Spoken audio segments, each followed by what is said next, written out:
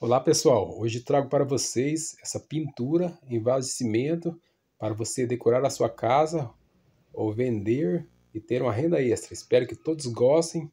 Então é isso aí pessoal. Vamos ao passo a passo.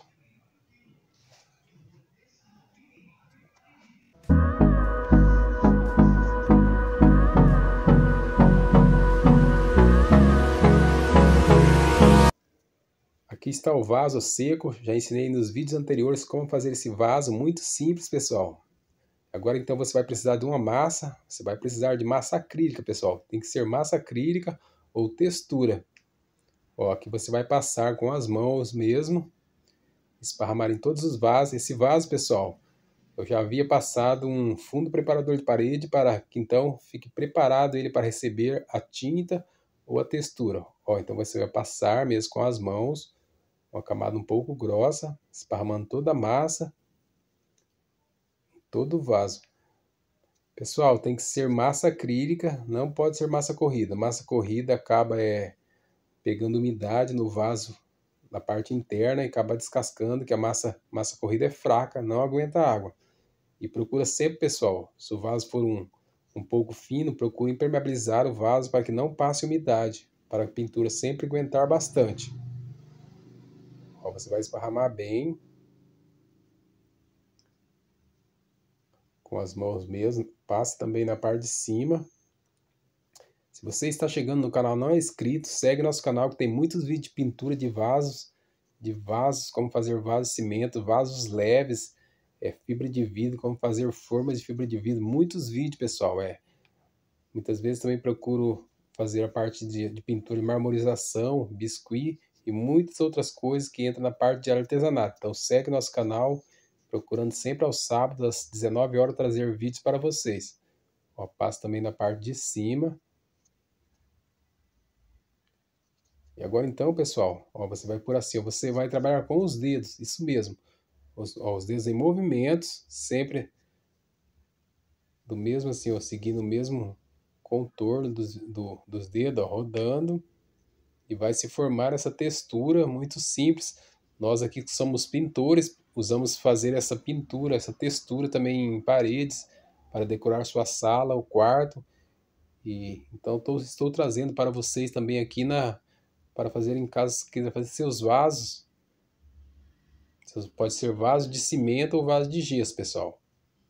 Ó, a parte de cima também, ó, em movimento, rodando sempre do mesmo lado e vai se formar essa textura. A textura fica muito bonita, você pode pintar de outras cores também. Aqui é o... Conforme você trabalha os dedos, ela vai ficando diferente. Você pode pintar de outras cores, eu fiz uma cor preta também, depois lixei. Também você pode colorir a massa, você colore essa massa, massa com pigmento de outra cor. Supor que você colore ela de vermelho, aí você vai pintar de branco, a hora que você lixar vai ficar o destaque branco com vermelho ter muita criatividade para fazer seus vasos. Aqui, ó, pessoal, preparei uma tinta acrílica base d'água, com um pincelzinho, ó. Aqui eu, eu fiz uma cor, é tipo um camurça, só você misturar é, tinta acrílica branca, e aí você mistura marrom, vai dar essa cor. Coisa bem simples, pessoal. Eu sempre recomendo a vocês, comprem a tinta, a tinta branca, tinta acrílica de boa qualidade, e depois você compra os pigmentos, e faz a cor. Você vai economizar bastante, mas procura, é, tipo, não pôr muito pigmento, pessoal. E compra tinta boa, uma coral, uma souvenir, uma Sherwin Williams, que são tintas muito resistentes para pintar vasos, ou tinta, tinta para calçada também, pessoal. A tinta calçada aguenta bastante, é muito boa. Claro, sempre tinta de boa qualidade. Agora com um pincelzinho, ó, tinta um pouco fina, você vai passar duas demãos duas demãos no vaso. Esse é um vaso pequeno, mas você pode fazer vasos grandes, sempre impermeabilizando para que não passe a umidade, pessoal. Ó, agora aqui, ó, agora você vai esperar secar, passa duas demãos. Agora com a lixinha, pessoal, aqui estou usando uma, uma lixa 120. E aí você vai lixar, ó. Se você querer que fique essas partes mais brancas, pessoal, você vai lixar mais para dar o destaque mais branco. Aqui eu não vou lixar tanto, porque eu queria que ficava o, o se, se destacar bastante, que o camurça é uma cor bonita também para destacar bastante o vaso. Ó, lixa bem para aparecer, vai aparecer na parte branca, ó.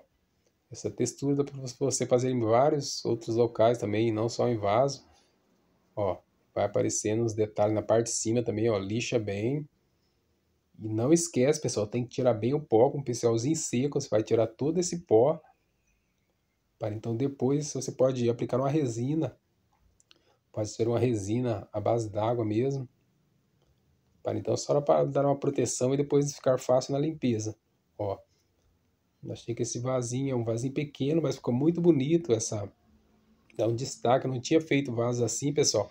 Eu sempre procuro trazer novidades no canal para que todos possam fazer e decorar sua casa aí, ó. Caso queira vender também, ó, possam ter uma renda extra ganhando um dinheirinho, ó. Com o pincelzinho tire todo o pó, bem tirado mesmo, pessoal. Se você tiver um um soprador ou um até um secador de cabelo, tire bem o pó com o vento, não deixe nada, para então depois aplicar a resina.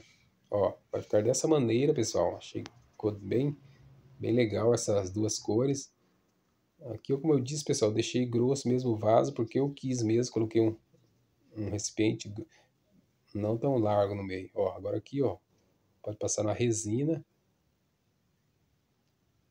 Então ele vai ficar tipo um acetinado. Eu achei que ficou bem, bem bonito. Agradeço a todos vocês, pessoal. O canal está crescendo bastante, já estamos chegando a 7 mil inscritos. Comecei um ano e pouquinho o canal, devagarzinho, agora já está crescendo bastante. Ó, agora eu fiz esse pretinho aqui também, pessoal. Ó, ficou muito bonitinho, um vasinho feito de, de caixa de, de leite. Também posso fazer para vocês. Olha isso aí, pessoal. E esse aqui, ó, como ficou. Fiz um vidinho aqui, ó, com a plantinha, umas suculentas. Achei que ficou muito legal. Espero que todos tenham gostado do vídeo e até o próximo vídeo.